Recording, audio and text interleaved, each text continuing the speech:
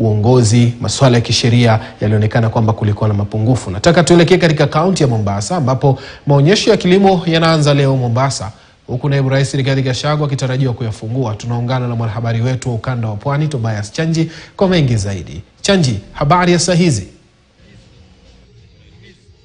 Bila shaka Suleiman Yeri, tumo katika uwanja wa maonyesho ya kilimo ya Mombasa katika maeneo ya Mkomani. Kumbuka maonyesho haya yalifunguliwa hiyo jana, lakini leo yatakuwa yanafunguliwa rasmi na naibu rais Rigathi Gachagua ambaye tayari ashaingia katika maeneo haya na anazunguzwa anazungushwa katika vibanda uh, kadhaa vilivyopo. Kumbuka kuwa idadi ya vibanda vya maonyesho imeongezeka uh, kutoka 130 mwaka jana hadi 150 mwaka huu, tukielezewa zaidi kuwa uh, nyingi ya vibanda hivi vimetokea katika mataifa jirani ya Tanzania, Uganda na Malawi. Na kwa sasa nipo katika uh, mamlaka ya unyunyuziaji nchini uh, kutaka tu kufahamu labda maonyesho yao ni yapi ambayo watakuwa wanaonyesha raia na wananchi kwa jumla watakuwa wanafika maeneo haya. Uh, kwa mfano ukitazama nyuma yangu tu tunaona kuwa ni, ni baadhi tu uh, ya mimea wakitumia nyenzo tofauti ya unyunyuziaji. Hapa kuna mkunde, kuna mchicha, uh, kuna mpunga na kadhalika. Nitakuwa nazungumza na mwenyekiti wa mamlaka haya na vilevile vile afisa mkuu mtendaji uh, labda tu kutuelezea zaidi kuhusiana na kile ambacho wanafanya uh, kulingana na maudhui ya mwaka huu ya maonyesho hayo. Nitaanza na mwenyekiti uh, jitambulisha kwa Kenya kisha tuelezee. Asante sana. Kwa majina naitwa Engineer Gilbert Maluki. Mimi ndio mwenyekiti wa hii mamlaka ya National Irrigation Authority ambao inahusika na unyunyizaji wa mashamba na sisi tu, leo tumekuja kwa lili show la Mombasa ili kuweza kuelimisha wananchi kuhusu teknolojia ambao tuko nazo za kupigania hali ya jaa kwa hii nchi yetu. Kwa hivyo naomba Wakenya wajitokeze kwa wingi waweze kuangalia ni lili ambao tuko nalo ambao tunaweza kupatia Wakenya mambo mpya na kukuza mimea yao ili tuweze kupigania hali ya njaa katika Kenya yetu. Asante. Nashukuru wote. Alizungumza na afisa mkuu mtendaji. Uh, bila shaka amekuja na maonyesho haya na kumbuka kuwa hiyo jana uh, kumetamanika, kumetamatika kwa kongamano uh, la Afrika la kushughulikia maswala ya tabia nchi.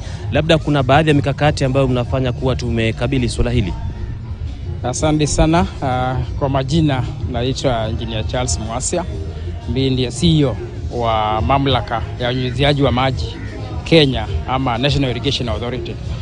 Kama vile chairman ametangulia kusema, letu jukumu kubwa kabisa ni kuweza kuwaonyesha Wakenya wakati huu hapa Mombasa hii mamlaka, ile teknolojia ama njia zile tunatumia za smart agriculture ili kuinua kilimo kwa wakulima.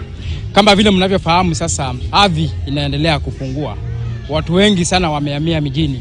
Kwa hivyo kwa upande huu wa shua mwaka huu pia kuna ile tunaita tu urban agriculture, ama kama vile unasema uko pale mjini, pia unaweza ukakuza boga. Unaona, kama vile tunaonyesha hapa, unaweza ukakuza boga na ikakuwa pia ume, ume, ume, umeongezea mapato zaidi, ama ile, ile income yako umeinua zaidi.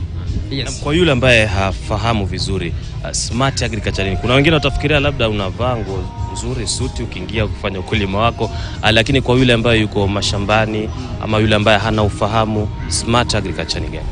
Kama vile tunasema kwamba kwa mfano kama wale wako mashambani, tunajua sana sana mvua sio mingi sana, lakini tunasema kuna zile njia za kuweza kuhifadhi maji kwa vidimbwi vidogo vidogo.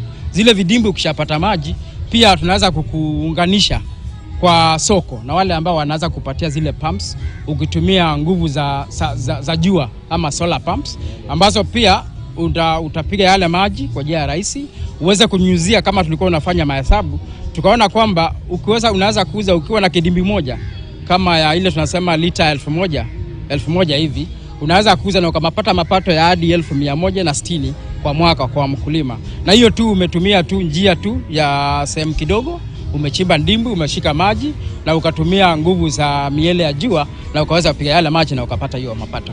Yes, yes. Shukran sana bwana CEO na nawatakia kila la heri uh, wakati unaendelea na maonyesho haya.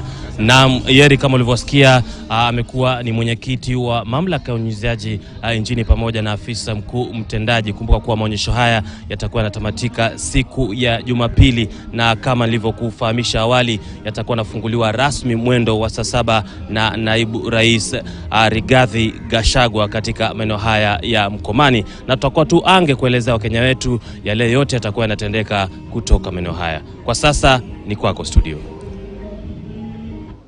Shukran sana Tobias Chanja ambaye ametufahamisha hali ilivyo katika maonyesho ya kilimo